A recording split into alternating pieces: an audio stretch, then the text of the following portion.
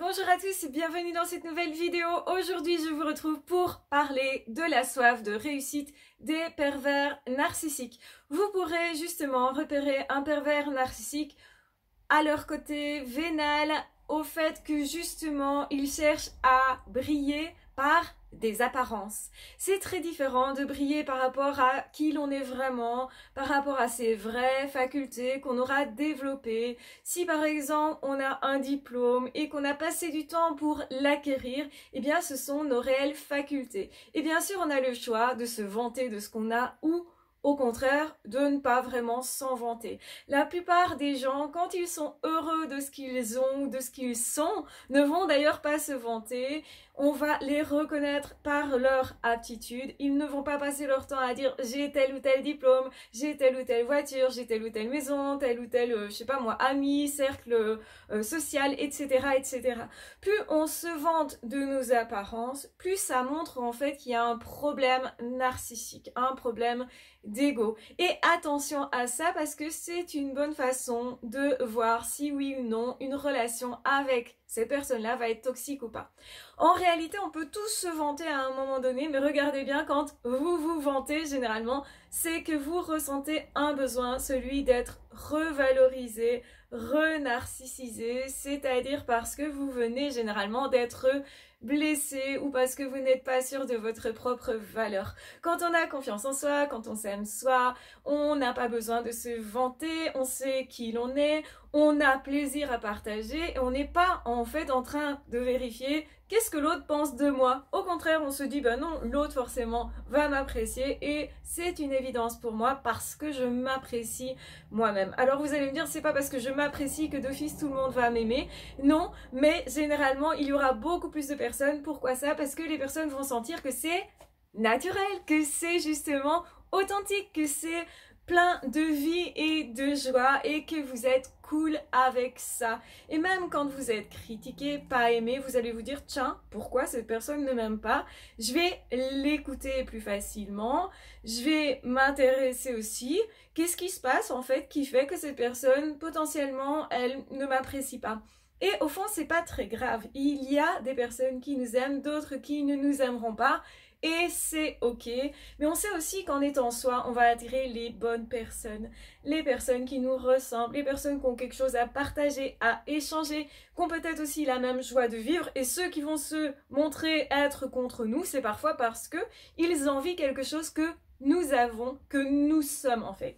Et il faut du temps pour développer qui nous sommes profondément pour être un vrai être humain, riche intérieurement, pour avoir de quoi partager et pour avoir de vraies capacités, aptitudes, bah oui, ça prend du temps. Et les pervers narcissiques, ce sont justement ces personnes qui ne veulent pas développer leurs capacités et qui même n'en sont pas capables parce qu'il faut de la patience, il faut de la persévérance, il faut du courage et il faut surtout savoir se remettre en question.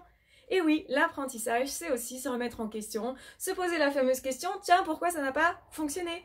Qu'est-ce que j'ai fait qui n'a pas fonctionné? Comment je peux du coup faire autrement pour que j'apprenne, pour que je fonctionne mieux, pour que je me déploie au niveau capacité pour que justement je corrige mes erreurs? Et pour corriger mes erreurs, il faut savoir être humble et s'arrêter, se dire ok, qu'est-ce que j'ai fait qui n'a pas fonctionné?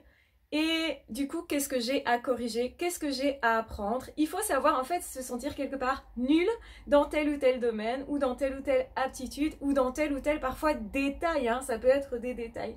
Et c'est ça la particularité d'une personne qui va apprendre, qui va réfléchir, qui va progresser.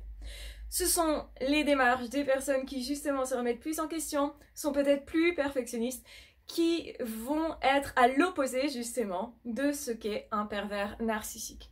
Les pervers narcissiques ne sont pas capables d'évoluer, de se remettre en question, d'être humbles. Justement, ils veulent toujours croire qu'ils sont les rois du monde. Et donc attention aux personnes qui réagissent avec l'ego, qui ont besoin de se grandir tout le temps, de grandir ou d'arranger leurs apparences, qui vont du coup toujours arranger ce qu'ils disent. Hein. Donc c'est une façon de mentir, mais aussi soit par omission en ne disant pas certaines choses, ou soit justement en arrangeant la réalité, en prenant des bouts de la réalité et en les transformant. Ça, ils font beaucoup. Donc c'est aussi une autre façon de repérer les relations toxiques. Ce sont des personnes qui vont beaucoup avoir besoin de se valoriser, qui vont en fait beaucoup se vanter et souvent de choses qu'ils n'ont pas faites ou de diplômes qu'ils n'ont pas. Ils mentent beaucoup ou de relations qu'ils n'ont pas. Ils vont faire croire que eux, ils sont très sociables. Alors qu'en fait, quand on creuse un peu, on se rend compte que bah non en fait, hein. parce que là aussi, pour être bien en société, il faut savoir se remettre en question. Pour développer des aptitudes sociales, il faut aussi savoir se remettre en question dans la relation. Ça veut dire que parfois, il faut accepter qu'on ait fait des erreurs et reconnaître nos erreurs. C'est quelque chose qui demande une humilité qui n'est pas toujours simple, même pour la plupart d'entre nous, mais particulièrement, mais particulièrement pour les personnes pardon, qui sont plus sensibles au niveau de l'ego et donc cette hyper réactivité à la frustration, cette hyper réactivité aussi aux éventuelles remarques, même toutes petites, doivent aussi vous mettre la puce à l'oreille. Et oui, ce n'est pas normal quelqu'un qui toujours essaye de cacher ses erreurs, de se cacher derrière des apparences, de se montrer tellement grand, tellement fort, tellement puissant. Parce que oui, justement, ils refusent de montrer leur incompétence, de se montrer faibles à certains moments, alors que nous sommes tous faibles à certains moments et c'est ça qui nous fait progresser. C'est au moment où on dit à quelqu'un écoute ça moi j'arrive pas à faire, comment fais-tu toi? que justement on progresse. C'est parce qu'on pose ce type de questions aussi et parce qu'on se montre dans nos faiblesses paraît sympa aux yeux des autres parce que les autres se reconnaissent aussi dans nos propres parcours, dans nos propres faiblesses. Il n'y a rien de plus extraordinaire que de montrer qu'avant on n'arrivait pas à faire quelque chose, que maintenant on y arrive parce que justement on a fait un chemin.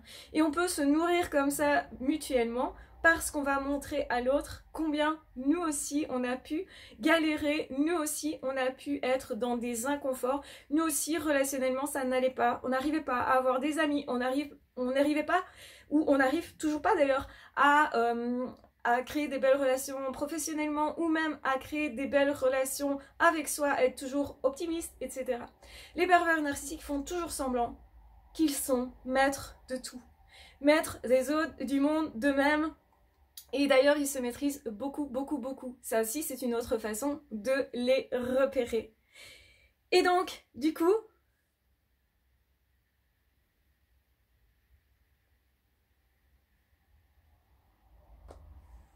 Et donc, du coup, pourquoi ils ont cette soif de toujours, toujours se mettre dans les apparences, de paraître le plus grand, etc. Premièrement, pour vous impressionner. Deuxièmement, pour s'impressionner eux-mêmes. Ils ont besoin de croire qu'ils sont tout puissants. Et justement, ça aussi, c'est une façon de détecter les relations toxiques. Toute relation toxique, même si ce ne sont pas des pervers narcissiques, mais de grands narcissiques par exemple, eh bien vous aurez justement une période pendant laquelle la personne se croit toute puissante, donne des ordres, dit tout savoir, être omniscient, donc c'est vraiment ça, c'est je sais tout, moi je vais te dire quoi faire et toi tu dois en gros t'exécuter, tu dois me suivre et en gros, tu ne peux pas discuter non plus. Les ordres ne sont pas discutables. Alors qu'une personne normale, elle va te dire voilà ce que je pense qu'il faut faire. Déjà, je pense qu'il faut faire, c'est nuancer. Et en plus, on peut en parler. Donc, c'est-à-dire qu'on peut avoir d'autres points de vue qu'eux-mêmes. Et ce sont des personnes qui généralement vont écouter au minimum le point de vue, pas forcément aller dans votre sens, mais quand même écoute et parfois se questionne. Si vous avez en face de vous une personne qui justement vous dit Ah tiens, c'est vrai, peut-être ta méthode est meilleure que la mienne, là vous savez que vous n'avez pas affaire à un grand narcissique parce que c'est ce dont les narcissiques sont incapables. C'est de se remettre en question, c'est justement d'être à l'écoute. Et ça aussi, ça doit être un gros red flag quand quelqu'un ne vous écoute pas, quand vous avez l'impression tout le temps d'être en train de remanier vos besoins ou de cacher vos besoins, de faire semblant que vous ne ressentez pas ce que vous ressentez, de faire semblant que ça va alors qu'en fait ça va pas tout à fait. De, en fait, vous êtes en train de changer votre comportement pour l'autre, pour ne pas justement faire en sorte que il y ait une colère de l'autre ou qui parce que vous avez peur que la situation dégénère ou vous avez envie de maintenir une sorte de paix et vous ne voulez pas justement qu'il se passe autre chose, et bien là, vous changez votre comportement. C'est parce que vous avez cet idéal-là de paix, de maintenir justement la relation, peut-être par peur justement de perdre l'autre, et ben c'est ça qui va vous faire courir et changer de comportement. Autrement dit, c'est ça qui va faire que vous êtes manipulable. Donc en réalité, justement, les pervers narcissiques, ils veulent toujours briller. Et plus vous allez être valorisant, et plus ils vont vous accepter dans leur vie. Et l'erreur, ce, serait justement de faire ça, de leur dire Ah, tu es tellement beau, tu es tellement grand, je vois combien tu n'as aucun défaut en fait. Hein. Alors qu'en réalité, tout être humain a des défauts. Et c'est justement ce qu'il faut comprendre. Une personne qui va vous dire Voilà, j'ai des défauts, mais tu sais, euh, j'essaye d'évoluer, etc. Euh, ben, c'est une personne qui déjà ne vous cache pas les défauts ou ses erreurs, vous montre bah, qu'elle est capable à certains moments, mais à d'autres moments peut-être pas. Et c'est quelqu'un qui va vous dire oui, tu sais, j'ai tel diplôme, mais par contre, je m'y connais pas du tout dans tel domaine, donc je vais chercher à apprendre. Et donc, du coup, je vais te poser des questions, toi, apprends-moi. Et une relation, c'est deux personnes qui peuvent s'échanger. Donc, c'est-à-dire que quand vous êtes face à quelqu'un d'autre, cette personne, elle ne peut pas tout savoir sur votre vie ou tout savoir mieux que vous. Et les pervers narcissiques sont des personnes qui adorent justement briller et qui vont vous faire croire qu'ils sont doués partout. Ou au contraire, qui vont se positionner comme des victimes, comme des êtres enfin qui ne savent justement pas et qu'il faut absolument aider, mais vous allez vous sentir obligé de les aider, obligé peut-être de faire à leur place. Ou alors ce sont des personnes qui justement vont tout faire pour faire à votre place et vous faire croire que vous n'êtes pas capable. Et dans tous les cas, vous perdez votre autonomie. Donc attention, attention, gros red flag aussi. Si vous perdez votre autonomie dans une relation, ça veut dire que c'est pas très sain. Normalement en relation, on a plus d'autonomie. On est écouté dans nos besoins. On ne doit pas se transformer, on ne doit pas cacher nos défauts.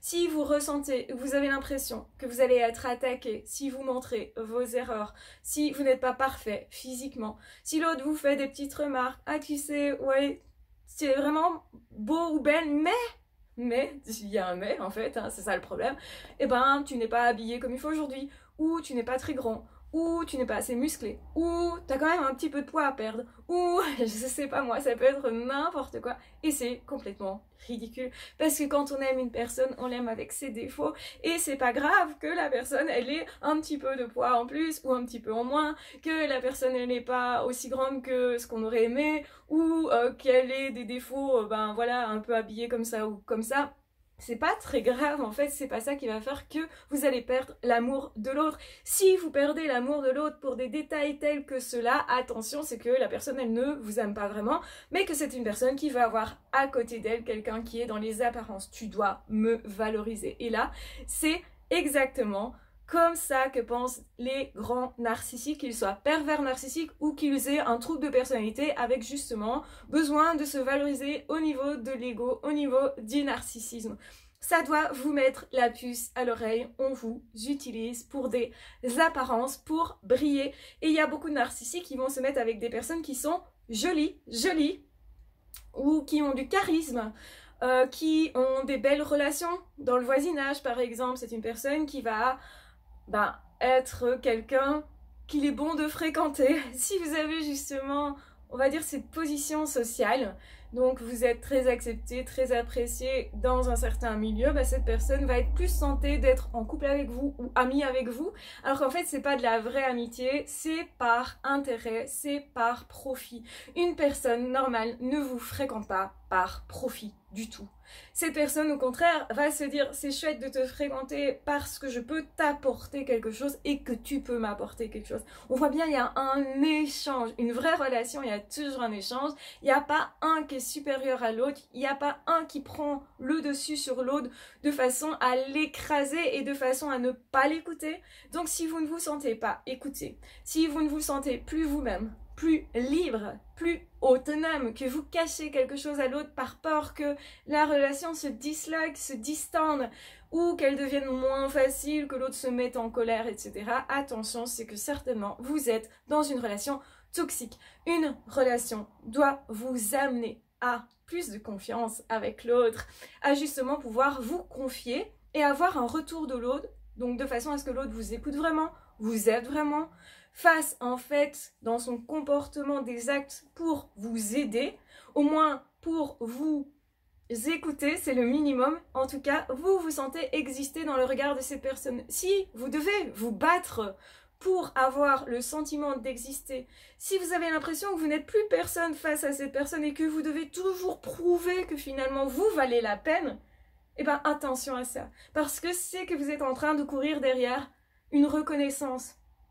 En fait, vous n'êtes pas vu, vous ne vous sentez pas exister, ou vous avez peut-être peur d'être mis en compétition avec d'autres personnes. Ce que font beaucoup des pervers narcissiques ou les grands narcissiques qui sont d'office toxiques, ce sont des personnes qui vont vous dire Ah, t'as vu, j'ai reçu un message. T'aimes pas hein, quand je reçois un message. Sous-entendu, ça peut être un autre homme, une autre femme, ça peut être quelqu'un d'autre qui, en fait, viendrait euh, mettre à mal le couple, en fait. Et vous sentez que la relation pourrait être en péril par ça. Ou c'est quelqu'un qui, exprès, vous fait patienter, qui est tout le temps en retard, qui devait passer la soirée avec vous, mais qui n'est pas là, qui vous met en attente, qui vous dit après, oh, c'est rien, je suis un peu plus tard, mais le un peu plus tard, ça devient un une heure, deux heures, trois heures, enfin un temps, un laps de temps très long. Et finalement, vous sentez que vous mordez sur votre chic. Vous sentez même peut-être une sorte de colère. Vous allez vous reprocher cette colère. Vous allez vous reprocher peut-être aussi de râler plus facilement, alors que c'est pas vous de râler comme ça. Eh bien, l'autre va vous reprocher votre attitude, alors qu'en fait, c'est pas vraiment vous, c'est l'autre qui provoque ça, mais vous penserez que c'est à vous à gérer vos colères, votre tristesse, votre anxiété, etc.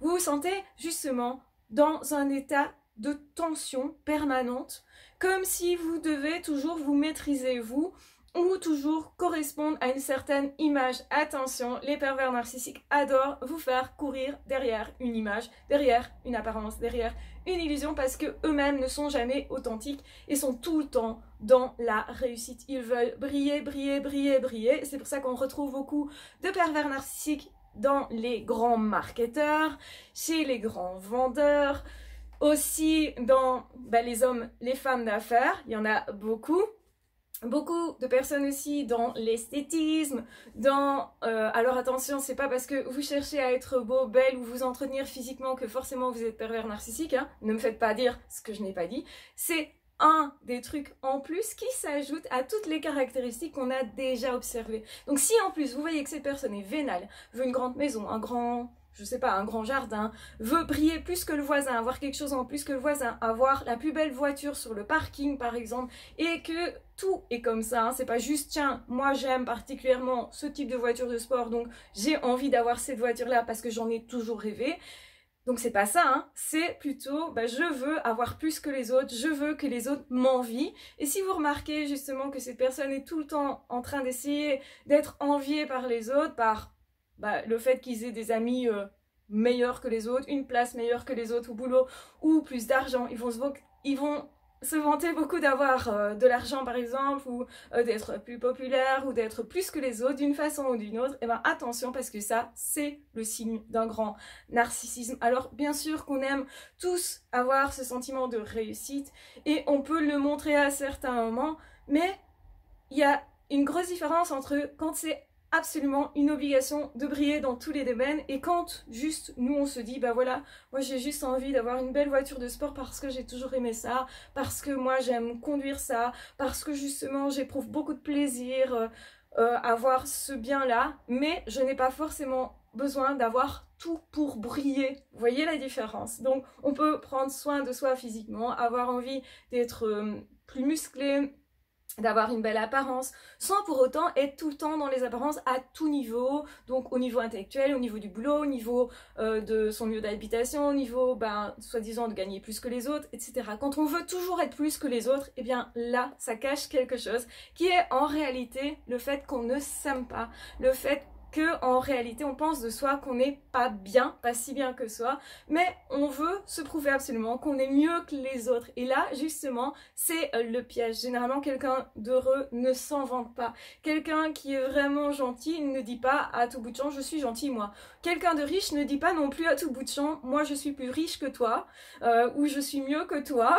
Donc déjà le fait qu'il y ait une comparaison doit aussi vous mettre la puce à l'oreille parce que ça diminue les autres. Quand on est heureux de qu'on a, ben, on ne s'en vante pas tout simplement. On ne s'en vante pas partout d'avoir Oh, t'as vu le couple merveilleux que j'ai? J'ai quelque chose de fabuleux. Non, ça, quelqu'un qui se vante de ça tout le temps, tout le temps, tout le temps, alors qu'il n'est pas au début de la relation. On peut faire ça au tout début de la relation parce que c'est nouveau pour nous et parce qu'on aime en parler. Mais souvent, on n'a pas besoin de se vanter. Plus on est heureux dans la vie, moins on a besoin de se vanter de ce qu'on a. Retenez ça. Les pervers narcissiques se vantent constamment, tout le temps, tout le temps, tout le temps, veulent vous impressionner, jouent beaucoup avec les apparences. Posez-vous vraiment la question, est-ce que cette personne a vraiment les aptitudes qu'il prétend. Parce que souvent, c'est beaucoup de belles paroles et très peu de vrais actes, de vraies capacités.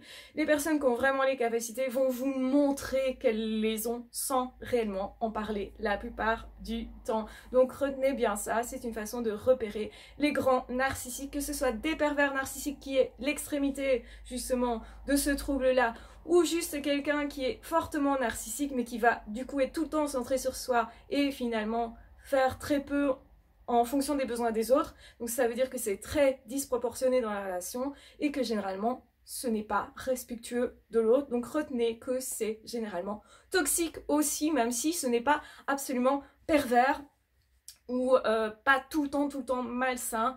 Si c'est régulièrement malsain, ça suffit pour en conclure que c'est une relation toxique et que c'est peut-être pas une personne à avoir dans sa vie. Tout simplement, voilà, j'espère que cette vidéo vous aura aidé vous aura permis de voir plus clair. Oui, les pervers narcissiques essayent de briller. Non, ce n'est pas normal d'essayer tout le temps, tout le temps, tout le temps de se valoriser. Ça montre justement qu'il y a une faille narcissique, un problème d'ego, un problème qui est disproportionné parce qu'on peut le faire un petit peu tous, mais généralement, on le fait très peu. Plus on est heureux et moins, en fait, on essaye de se mettre en valeur. Voilà, je vous embrasse bien fort. Je vous aime très fort. Prenez bien soin de vous, c'est très important. N'hésitez pas à la vidéo, vous pouvez aussi la partager, vous pouvez évidemment me poser d'autres questions et vous pouvez bien sûr vous abonner à la chaîne si ce n'est pas déjà fait. Vous pouvez aussi cliquer sur la petite cloche en bas de la vidéo, ça vous permettra d'avoir une alerte quand je poste des vidéos qui vous dit « Hey, il y a une nouvelle vidéo, est-ce que tu veux la visionner ?» Voilà, je vous embrasse bien fort, je vous aime très fort, prenez bien soin de vous, à ciao, bye bye